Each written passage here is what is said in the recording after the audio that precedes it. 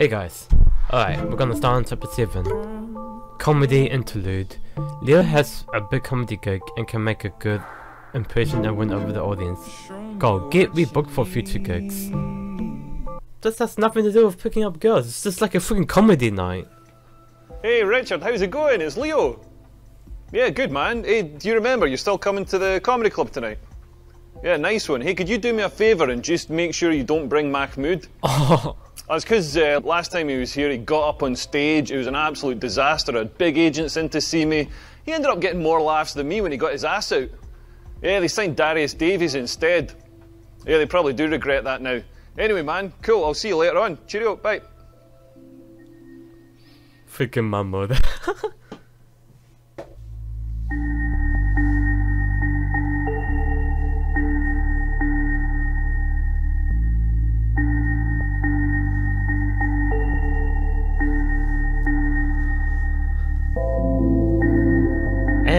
Richard. My man. The man himself. The legend. Super seducer.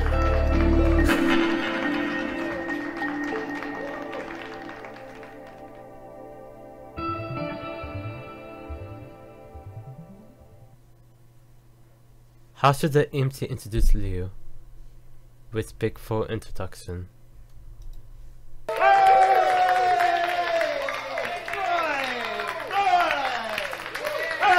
It. Ladies and gentlemen, you're in for a real treat. The penultimate act is a BAFTA winning comedian, Oscar nominee, and the new host of Saturday Night Live, and Miss Princess Meghan Markle's favourite comic. I want you to give him a warm round of applause beginning now. Come on for Mr. Leo.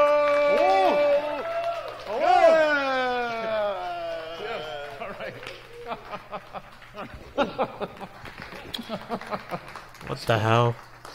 Hello. Good evening.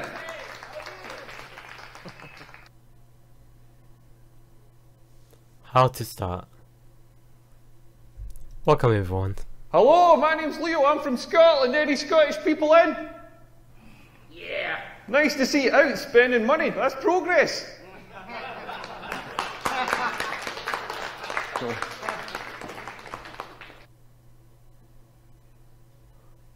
First joke. Self depreciating joke about Scottish food. Susan Boyle joke. Disgusting hay fever joke. Evil puns. A. I love coming to this city. The food here is amazing because the food in Scotland is absolutely shite. Like one of the things we do is the deep fried pizza. Don't know if you've seen this thing. Basically, what we do is we get a shitty supermarket pizza. We put cooked chips on it.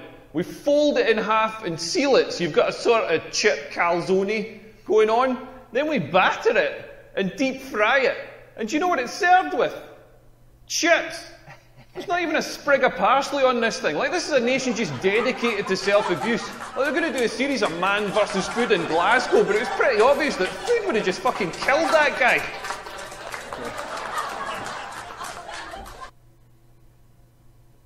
Hey everyone, we've got a special guest in the audience tonight. My friend Richard is here. Everybody say hello, Richard.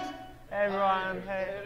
Richard. And ladies, Richard's single. Richard, I'm going to try and find you a girlfriend tonight. All, all the single ladies make some noise. Sorry, Richard, I, I Oh. tried.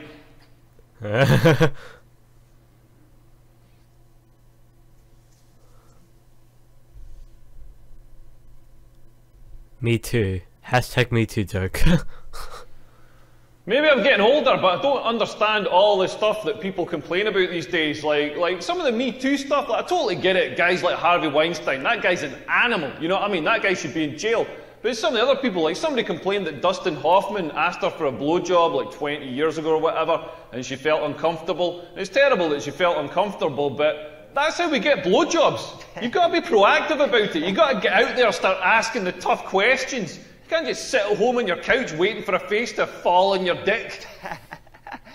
Like man, I've got to do all do all the like chasing in relationships. We've got to get out there. Like, do the, like if women just met us halfway, if like a woman came up to me and was like, "Do you What want a the- blowjob?" I'd be like, "Yeah." Then I wouldn't have to ask anybody for a blowjob. I like how Richard is the only one that's that's into it. What the heck? I don't know what's going on with my testicles. They're the weirdest part of the human body, all wrinkled up. Mine, mine look like Gordon Ramsay's forehead. Like if he was a werewolf. And, and they're constantly moving, constantly doing this weird, slow dance, just gently adjusting, like gently rolling over each other, adjusting for heat or optimal sperm production or something.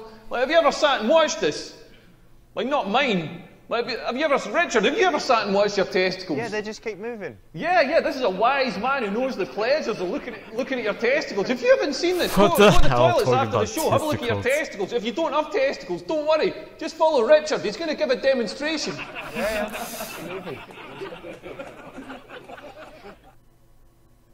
Next joke should be about six activities doing your shit on holiday nightclubs. Uh, doing your shit on holiday.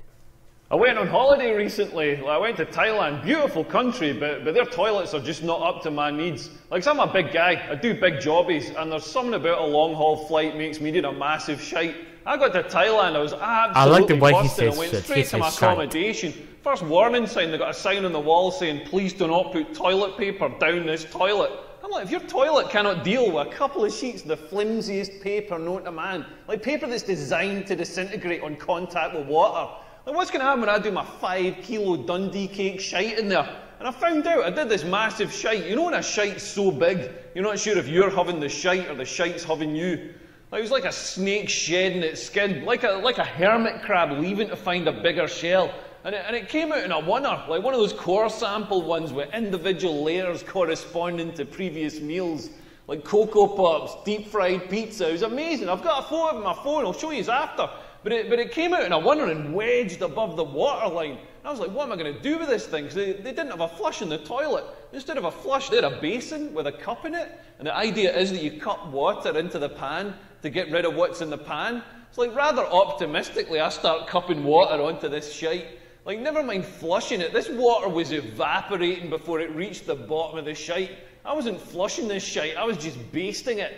Just, just filling the hut with this brown fog. So you know what I did to deal with it? Ah, am I the only one that doesn't find out. it funny? It's only paying like four dollars a night. You should imagine some Thai guy had to come along and chop it up with a coat hanger, but none my problem. All right.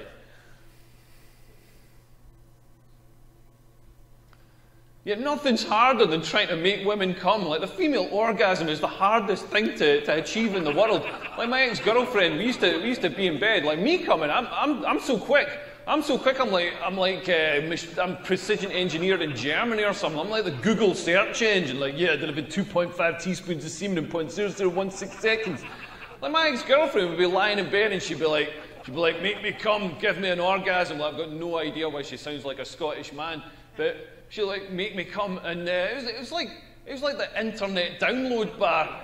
Like it's gonna be 30 minutes, it's gonna be 10 minutes, it's gonna be one minute, it's gonna be 30 seconds, it's gonna be five seconds, it's gonna be five seconds, it's gonna be five seconds, it's gonna be five seconds, it's gonna be five seconds, it's gonna be five seconds, it's gonna be five seconds, it's gonna be five seconds, it's gonna be five seconds. When are you gonna gonna stop? It's going to be 30 minutes.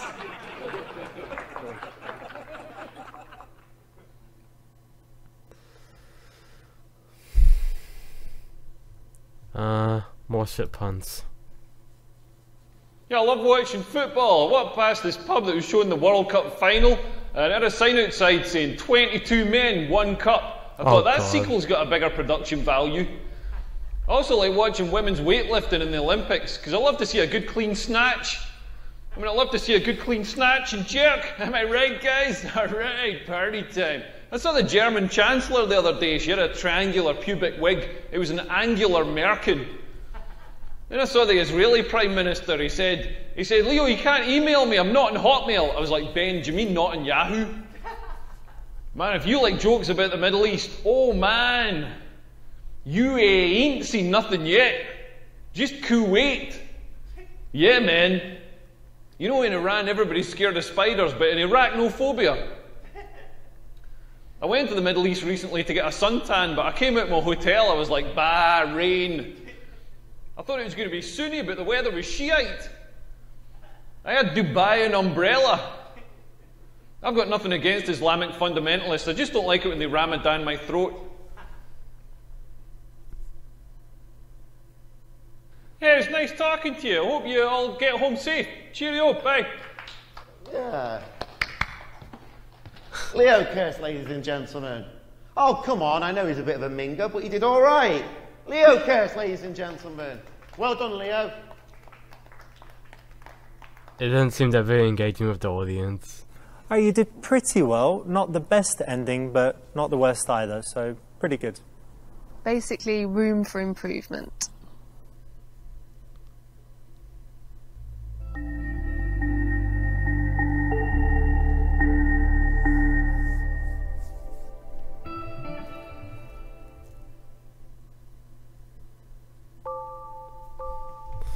Okay, I don't know what was the point of that chapter really. Um, how many more is there? Should I do the rest? I mean, I guess. Alright. Uh,